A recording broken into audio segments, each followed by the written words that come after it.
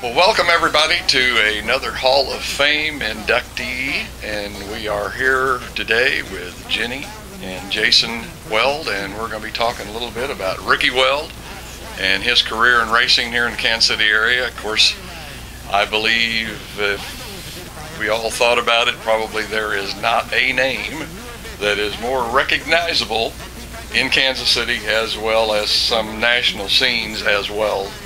So we're, I think, all pretty familiar with that and realize what Ricky probably grew up in. And I'm sure it was a lot of pressure on him. But Ricky was born Charles Richard McMillan in 1955, but that was only for nine years. And then Pappy Weld and Eleonora Weld adopted Ricky and I presume just started calling him Ricky. Is that right, Jenny? That is correct. Yes, they called him Ricky. And then that was it. I mean, was there a reason? Was that from the middle name Richard? Or? Uh, yes, that was from the middle name Richard. He got he just was always called Ricky Weld, so Yeah. that's how people remembered him. that was it, man. The Charles was done. It was all over. That was all over. People didn't know if they would have said Charles. Well, they wouldn't have known who it was. right. Okay, at I believe it was 12 years old, uh, Ricky more or less starts his racing career, but it's in the garage of his dad's shop sweeping the floors. So it just shows that Ricky wasn't really given any um, special consideration. He started at the bottom just like everybody. He did. He started at the bottom, and sometimes he would get in all their way too, while they were working on their race cars, and they'd shoo him off, you know, because he wanted to get right in there with them. he just, just didn't know what he was doing yet, you know, except for sweeping the floors. But he was really mechanically inclined, and Yeah. he had that mindset. Okay, in 1970, his brother Jerry built his first race car, and, and it was a mini stock. And Jerry or Ricky would be racing this at Olympic Stadium. Uh, you want to answer this one, Jason? How, how did he do in that first season? Well, he won Rookie of the Year, and um, I know that he was ornery, and he, he couldn't hardly see over the steering wheel when he was in that car, and, but he was determined to run it anyway. Uh huh. He did it without the uh, permission of his brother, Um, but um, he got he got scolded for that one afterwards. But uh, you know, he wasn't to be stopped. Yeah. He was he was determined to do it. he had that determination. I, I guess that's one of the things that you have to think about racers is, man, they, they've got that drive. And boy, once they get it, there is no stopping it. I That's mean, true. Uh, just like an interview I did the other day, gentleman, 63 years old, and I swear he's got that fire burning just like if he was probably 16 or 18 years old. He still wants to get out there and do it. In 71, and it doesn't take Ricky, I guess, long to move up because this is only one year, but he steps into the super modified, the number 90, which is, of course, representative of the Weld family. I think they had numbers all through the 90s, if I remember right and uh, decides to start racing that super modified. And I mean, he jumps right in with the big guys, Jenny. He did. He jumped right in there, and he he did really well. I think he surprised his family at how well he could do. So uh, he, he was he was just going for it. He did. Okay, that, then he's just 16 years old, and he's racing in probably what was the premier class because actually back in these times, the sprint cars, the super modifieds, I mean, they were the deal. That's that's what you eventually worked up to and moved into. But Olympic Stadium there again, boy, what a little bull ring that thing was. Oh, he loved that track. He loved it because his brothers raced on it, and, he was able to race on it, and his hero AJ Foyt raced on it. Yeah. So he really enjoyed that.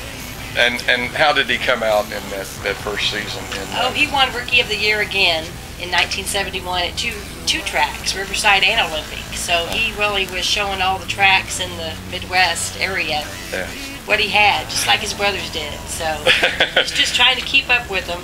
you know, you know, sometimes at that age, uh, guys don't know what exactly they're into or what they're facing, and I guess there's no fear or of, of losing or whatever, so they just go at it wholehearted. And it sounds like that's what Ricky did because in his lifetime he had 41 feature wins, and out of that 41, 29 of them were won in those first two years. So he was really going after it at that time. He was going after it, and he wanted to show everybody he could do it too, Yeah. and he did. Uh, this might be a good time to kind of talk a little bit about Ricky being a member of the Weld family. I know you and I discussed it somewhat on the phone the other day, but it sounded like um, I wouldn't say this was something that hung over Ricky's head because I think he kind of raced through it or whatever, but he still felt that pressure, didn't he? He did feel the pressure. He always said he felt like he had to fill some shoes, and uh, he had some mighty shoes to fill, and did, he did his best at what he had. Yeah. And I'm I think they were all were very proud of him, and, but he seemed to always have that little Yeah. worry that back there if he was ever gonna win like his brothers. Yeah. It, it wasn't like, and I, I'm like you, I think a lot of people had these thoughts, well, he's a weld. He's running all the best and top equipment. But he wasn't. He was more or less, as you told me, he went through the shop, out behind the shop, picked up stuff, and we put it together, and that's what he raised. Well, you know, Rick used parts that Pappy had. They call them antique parts. a big pile of them is what I hear. And uh, he'd go through those, and I think that's how Ricky learned to fix things with what he had, because Uh-huh. that's what he did here at home too. Uh-huh. Uh, and he'd work on people's cars, you know, Yeah. fix them, make them go. It makes him go. now, are we? You're talking about race cars? yes. Okay. all right, I was gonna say I didn't think you meant he was just doing mechanics work. No. He was working on race cars. Okay. Yes. Um, of the 41 features that Ricky won and raced at different tracks here around the area, um, I believe you told me they're Knoxville. Do you know, did, did Ricky race up there uh, pretty much on a, the weekly basis? Yes, he did race at the weekly basis up there a lot with the Jordan brothers, and uh, um, he liked to race for them, and he raced for his dad there, and he did some. I think he tried out for a national in 1974. Nah. Yeah, Well, that that brings up another topic that we need to cover too, and that is driving for his dad. Because I've talked to several other drivers that drove for Pappy, and uh, my understanding was uh, you either won or succeeded and won some money, or you didn't drive the next race. that's true. if you didn't win or you broke something, you were fired for the night, and someone else was in it the next night. Uh, Pappy just was he was hard with that. He Yeah. wanted to win all the time, and he he knew he had the best. Equipment out there. Yes. So he expected his boys to do it. And he fired every one of them once at least or more. Several of the tracks, uh, going back to that, where Ricky did drive, it was Knoxville, Eldora, Eagle, uh, the Iowa State Fairgrounds there in Des Moines, Sedalia, and I'm sure several others that he raced at, Yeah. particularly around this area. yeah, he raced at Marshall, Lakeside, Riverside, Yeah, Right. I-72, yeah. Uh, Jason, maybe you can tell me this. Who were some of the car owners that uh, your dad drove for? Well, he drove for his dad to start out with, and, and um, he drove for the Jordan brothers. Mhm. He also drove for uh, a guy named Vanderwoody, Mhm. and uh, did well there. Mm-hmm. Won a disputed championship in '85 with them. Uh-huh. Um, he was also a car owner Mhm. as well. Uh, had a had a driver named Mark Zaranatello that drove for him. Okay. So not only did he drive for many people, he also Owned cars himself. Okay. I, I just happened to see the picture up there a while ago. Uh, did he drive the Beaver Special? he did drive the Beaver Special. Um, Of course, that's a Kansas City-based tool company, and uh, uh, Sammy Swindell, I think, drove that at one time. He did drive for them. he, he didn't drive. I'm not sure how long he drove for them. Mm. Um, that's information we don't really have. Can't get your hands on right now. How many races he ran? We know that he Yeah. did drive the car. Uh, Um, And uh, also, our friend John Cunningham told us he drove the 4X car. Oh, a Trostle. Yes, Yeah. Okay. yes. So I think he drove that one time for Okay. John. All right. And then you know where Knoxville. Yes, up at Knoxville. Okay. Yes, that's where it was. 74 through 85, uh, Ricky was driving uh, one of the tank cars at Knoxville, and we believe he won a feature there. If, if I'm correct me if I'm wrong on this, in the little Duffy car for the jo- Jordan brothers. Yes, he did. He raced. He, he got there one time in Victory Lane, and he was really it's hard to get in victory lane at Knoxville, and when Uh-huh. you when you succeed and get one win, that's special to you. Yeah. And it was very special to Rick to know that he, he at least won one race there. Yeah. Yeah. So Would either one of you like to expand a little bit on what a tank car was? What a tank car was? Yeah. I- Ba- basically, it was Pappy Weld with four wheels on it. I mean, if you, knew, if you knew Pappy Weld, then you knew that that car was, you know, it, it was wrenched by one of the best mechanics that Yeah. you could possibly have. Yeah. And, of course, wrenched by Jerry and Greg as well. Uh-huh. And, you know, that car was, you know, Pappy Weld with four wheels. I understand they weighed 2,200 pounds, which I presume that's where the the name sort of came from, is they were as heavy as a tank. That's right. But uh, there again, I presume that Pappy made those cars that way for the idea, I'm going to say, of local racing, of how tough it can be and the grind that they go through. And I'm sure he put a little extra into those cars so that they would withstand the abuse, shall we say. yeah, he did, and he only built cars for his boys. He didn't he didn't build them for anyone else. Yeah. So if he fired one of his boys, and someone else did get a chance to drive one of them, so that was special, I'm sure, to them too. during this time, Ricky's also uh, running at uh, Knoxville trying to qualify for the Nationals. Now, from what I understand, he made a couple of B's and a couple of C's, but actually never did get into the A main for the Nationals at Knoxville. That's correct. He never made it. He would either break before he would get in, maybe uh, he'd blow a tire or a motor, and it was over. So he always had that little monkey on his back there. But, Yeah. but he loved it anyway, and he always went back. I was going to say, back in the heyday of sprint car racing, it was the place to race. It was the place to race. It's about the fastest half mile in the Midwest. Yeah. So It was, if you were a sprint car driver, it was a destination that you wanted to be at. That's right. I mean, you raced around here, I think, to kind of race each week or whatever and have the competition around here. But if you really wanted to see what you could do, you went to Knoxville to find out where you really stacked up with, with everybody. In 75, uh, May of 75, Ricky's racing up at the old Shawnee track that's just uh, outside or on the outskirts of Topeka and beats one of the inductees from last year. Tiger Bob Williams was inducted last year and uh, Ricky manages to uh, pull off the win up there and beat Tiger Bob. He said it was a hard win because he was out front and he didn't have any competition to go with. You know, he had to stay out there, and he, sometimes it's harder to be out front than it is to be second or third. So uh, you're just in the air, and Uh, but he he said he had a blast. yeah, I, I'd like to say that. sometimes when you're out front, you're you don't know what the guys behind you, what line they're running or whatever, whether they're faster than you are or what. So it, it does make it a little bit tougher. Yeah, and Ricky, he was a youngster, and Bob wasn't, and he thought it was great he could beat somebody that even raced for Pappy. You know, Bob Williams did race for Pappy too, so he felt like he really accomplished something when he won that race. Yeah. he told me that he thought that that was one of his prize moments in his career was when he raced that race and Yeah. won that race. He said he never he'd never been in a race so long in his life. you know, knowing that the guys behind him that were behind him were there, and Uh-huh. it just seemed like time slowed down, and he was able to be patient and stay in the line and get the job done. That sounds so funny because as I remember, Shawnee was a quarter mile, and I mean a small quarter mile if I remember correct. It wasn't a really big, big racetrack.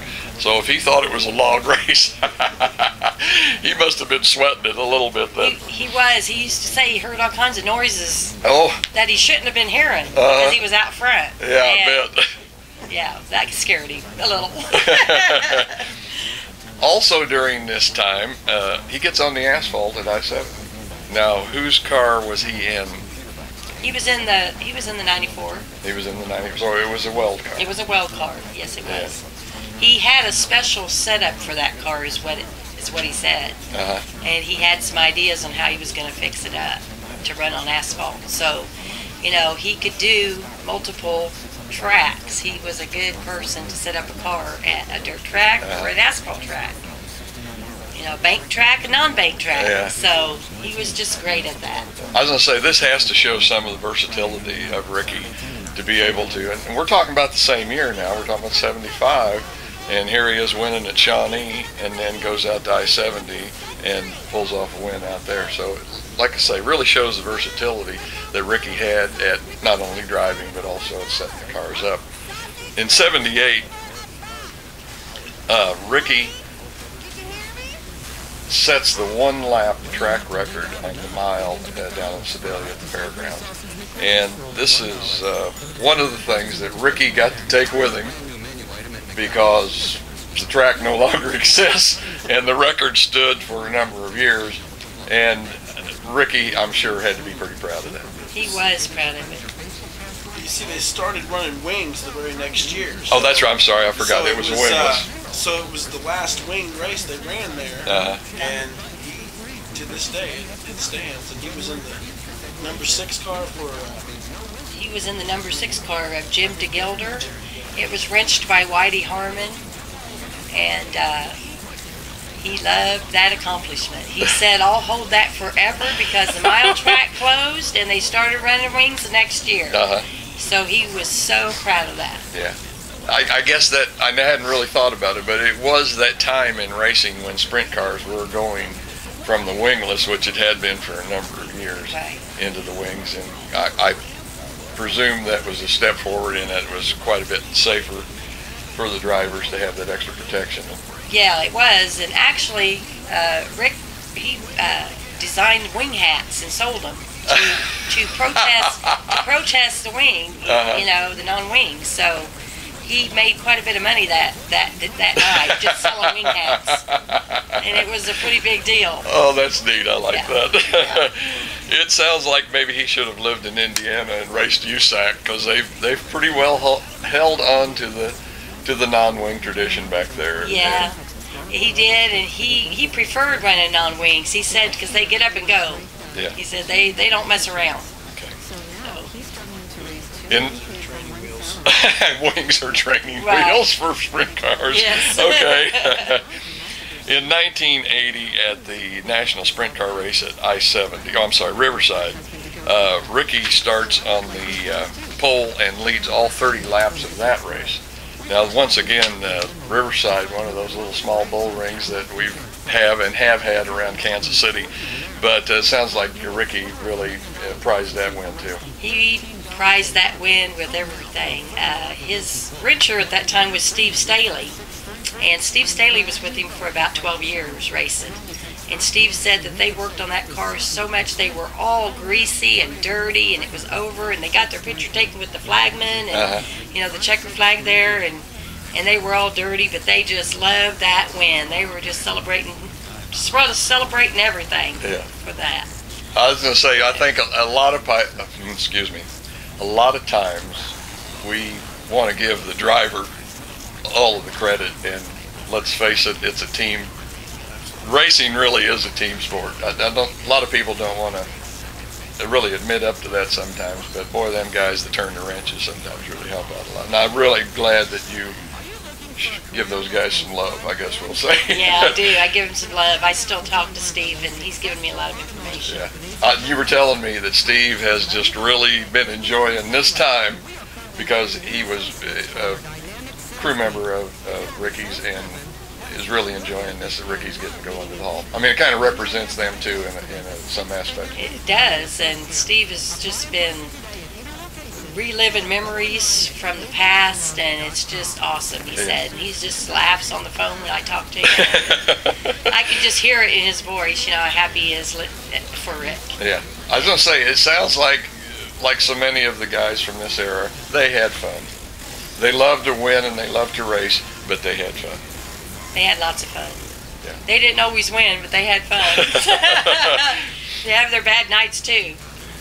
Okay, in 2006, excuse me, after being out of racing for 20 years, Rick, at the age 51, Rick returns to Knoxville in the Jordan Brothers Sprinter to run the Masters Classic. Now, why was this race so special for Ricky? Jason? Man, uh, his his dad was being inducted into the Hall of Fame that year, Mm-hmm. and you know he felt like his career culminated with, you know, he really felt like it meant something to go up there, and, and more than racing there, more than the success he had there, Mhm. the fact that he was going to go up there and run in honor of his father being inducted was just something that he had no words for. Yeah. You know, and, and uh, you can see it when he was here days before. You could see it when he was there on the track yeah. in the car. Beaming a little. Just there, his picture, his picture there says it all. What he's thinking about before he rolls out. Yeah. He, you know, he's just uh, he's honored to do it. Yeah, I understand he set a special time too. He had He some did. some recognition into the time that he set there. His number was the number one for the Jordan brothers and 94 for his father. Uh, And so they ran the 194, and his time in qualifying was 18.194. And so when he heard that on the announcer, Uh-huh. announcer, he said, "Wow, that's amazing!" You know, it just it got real emotional for him there, and he knew that Pappy was there with him, and like he always was in Uh-huh. Knoxville in the pits, you know. And uh, it, it was a real special moment for him. Yeah. He, uh, you know, it felt like he, he was completed there. Yeah. He was complete there, you know. Yeah. To be able to go back and compete after 20 years, Yeah. you know, just it moved him. It really did. I was going to say to step back into one of those machines and the way technology and everything developed in over 20 years.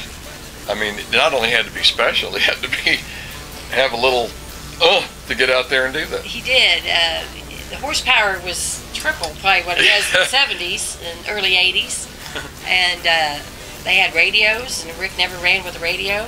Uh-huh. He said it distracted him, and he told Rodney Jordan, Uh-huh. who I want to say a special thanks to for letting Rick drive his car, um, that uh, he had to take the radio out. He was sorry, but Yeah. he couldn't. He couldn't have it in there.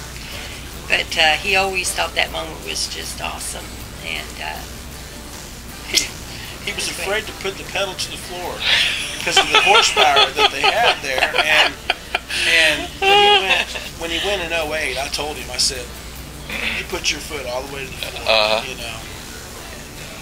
So that was something he did the next time. Yeah. I was going to say, in 2008, he goes back again, and Ricky sets the fastest time that he'd ever run at Knoxville, 16.521, and he's in Mike Hausman's Y number five at age 53. And um, quickest time he ever run in Knoxville? Quickest time he ever ran. He said he felt like he went back 25 years when he got out of that car, Mhm. and he never knew he had a fast time until they told him. But uh, he said he felt like he'd go another 50 laps around that track. The adrenaline was flowing. The adrenaline was flowing big time. yeah. A really, really, there again, another, I'm sure, high point in Ricky's career to know, you know, that he did that because that's a pretty decent, respectable time. I mean, it's not what Swindell or Kinser or somebody like that's going to turn, but still pretty Right. respectable out there. Right. It was a 360 car, Oh, was it? Okay. and it, he, um, I recall the uh, the pole was in the 16s as well, I believe, Oh, was it really? Okay. for that night. And I was going to say, some of those guys are not 20 years out of racing to do that. Right. So, It was amazing. It was absolutely amazing. Uh, Rick felt the whole trip up there that he felt he had to do this, Uh-huh. and he is so glad he did. I bet. You know, Yeah. He is so glad he did. Yeah. Well, just three days later, though, Rick goes to the doctor and he finds out he's got cancer. Yes. And the more, you know, he says, I'm so glad I went up there and raced that race. Yeah. He said, because I couldn't have had that. So he felt like God gave him his last fast ride. Okay. So that was special to him. Special for Rick. Yeah, and I'm glad he got to do it. Um, He never regretted it. oh, I bet Never, not. Man, never. of course, getting those old timers together sometimes too. Just them around telling stories and bringing back stuff that happened 20 years ago. Right. Uh, they just they just love that. Let alone being able to get out there on the track in a race car and get to do it all over again. Right. And I want to thank Mike Houseman for letting him drive in that car because he had posted on the internet that he needed a ride and Mike contacted him. Oh, really? So, yeah, because he had two cars. So Mike drove one and Rick drove oh, one. Oh, really? Rick, Oh, Rick set his car up and Mike set his car up. Yeah. And Rick went faster than Mike did. He wasn't too happy about that. Because he said, You haven't been in a race car as much as I have, and you're going faster than this owner that owns this car. Yeah. So that was fun time for Rick. Took I- his mind off his pain. kinda. Right. Okay. Yeah. Because he he was in pain at He that was in time pain, already. yes, he was. He knew he knew something was wrong. He knew something was wrong. Yeah. He just didn't know what. Yeah. Okay. Well, Jenny, I'm going to ask you this question. I know there's got to be a story about racing, and you, you related one to me on the phone, and I don't know if that's the one you're going to tell, but I like to died. Uh, there's got to be a story either you or Rick told, or you guys did, or participated in about racing. What is it? Yeah. Well, if we could, I'd like for each of us to tell a story. Okay. Can we do that? Yeah, sure. Okay. Yeah. Okay, well, the story I have is uh, our first date was at the Sedalia State Fair in 1975. I got to stay all night with Rick for the first time ever at a racetrack, and it would have had to been a weld I stayed all night with. Yeah. Okay, so I knew something was going to happen. Uh-huh. You know, so we we go to the races, and afterwards we uh, we go to the midway to ride the rides, and of course Rick's spinning me around, and you know, on the rides, getting me all dizzy, and we come back to the pits afterwards, and Rick says, "Well, where's my car? My car's missing off the off the track, off the trailer." and I said, "Well, I don't know." I said, "So he's looking around. He says someone took it, and I'm going to find out." Come on, Jenny, let's go. And I said, "Okay." So we go, and he finds some people. He asks somebody, and found out Gene Jennington took his car. Gene Jennington took his car off the trailer and hid it somewhere. So Rick looked at me and said, "It's on." And I said, "What's on?" I'd never experienced being. Yeah. I've been to the races many times in my life, but never experienced something like this. Mhm. So he says, "You're going to help me," and I said, "I am." He said, "Yes, you are. We're going to go find Gene's car." So we get Gene's car. We take it out on the mile because they just watered down the track after the races, so it's Oh, nice and muddy. And Rick goes, "We're going to get him good." So. Uh, so he puts it out on the mile. We hide behind these bushes and we wait for Gene to come to- back down to the pits. So we're waiting there, and here comes Gene. He finds out his car's gone. He says, "I know who did it, Ricky Weld. I know it." yeah. So he's looking around for us, and and he sees this semi tractor trailer there in the parking lot down there in the pits, at pit area, and there's some people sleeping in the sleeping bags. Ah. So Gene Jennison said, "There they are over there. Let's go get them." You know. So he runs over there, really like a little army man, you know, creeping, and uh, he jumps them. And it wasn't us. Rick and I were behind a bush watching the whole thing and things like this, you know, racing's really on the tr- when you're on the track, it's all business. Uh-huh. Once you get after the race is over, you Oh, yeah. play tricks on each other and, yeah. And get each other, you know. And this was just one of those times, and that was the story I remember. Yeah. Oh, that's neat. Yeah. I love that. That, that is so funny. Yeah. oh, Jason, what do you got to tell us, buddy? Well, I wasn't there for a lot of his racing career, so I'm gonna I'll, I'm gonna hit up the, the point of the father he was hmm after his racing career. Okay. You know, he uh, when I was 18 years old, he came back into my life, and um, in 2004, we uh, worked together. We were trying to start a business, cross country, hauling cars cross country Uh-huh. transport, and. Um, we were with a shyster guy. We didn't know he was a shyster, but you know we were trying to get started and we needed other people, and so we hit the road for this guy for 18 days, Mhm. and um, we crossed the country three times, and 18 days made up for that 18 years Yeah. that he was gone, and it, was a special moment for me in my life. Um, I, I'll never forget it. Yeah. I mean, we laughed, we cried, we did everything, and he, one thing that he did after his racing career, because he knew it was a sacrifice for his family, Uh, is he, he was able to make a serious impact on everybody after his career. uh, know, not only did people see him and they, they cheered for him and they, they thought he was a great driver, he was a great person. Yeah. You know, outside of racing, and anybody that you meet will tell you how Yeah. much he helped them, uh, how many people stopped here to set up his car. Off. Yeah. Just, you know, and he, he was just a really good-hearted, good-spirited person. And, uh, people loved him. you know, I think that's a lot of times what we forget about race car drivers is they are people, just like you and me, Yep, that's right. and we forget about that. He loved children too. Did he? He loved kids, and and uh, there was a little little boy that used to come to the uh, uh, racetrack to get his autograph, and he had a little patch on his eye, and Rick would pay special attention to him because he had a disability. Uh-huh. The other kids kind of teased him a little bit, so Ricky used to pick him up, and put him in his race car, and let him sit in it. Mhm. And uh, uh, the other little boys, you know, didn't get to sit in the race car, so he said, until you treat this little boy right, he said, then you can sit in the race car. Nobody else. Nobody else. so that was really uh, a neat little thing that Yeah. he loved children. children. He always signed their autographs. Yeah. Well, guys, I want to thank you a lot, and I know that your families, and I include the total Weld family into that, are really proud of Rick and his life in racing and his induction into the Hall. Yep. The, the induction is just almost overwhelming.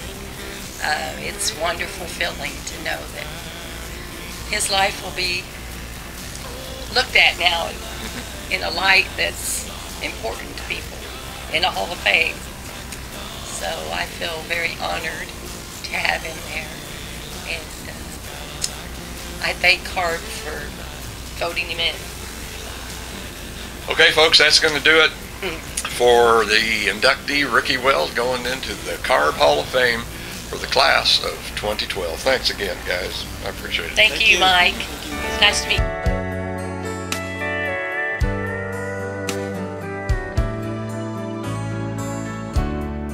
Without the wind, there would be no sails. And if not for you, there would be no hero in me. There are times I have shined, there are times that I've failed. Sometimes a hero he'll ride off but he'll be back again another day. Sometimes a hero seems awfully far from home, but even a hero can't always stop the cold wind when it blows.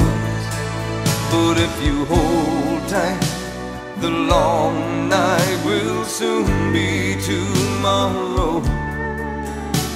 And you'll find me when you need sometimes a hero. Sometimes a hero seems awfully far from home. But even a hero can't always stop the cold wind when it blows. But if you hold tight, the long night will soon be tomorrow.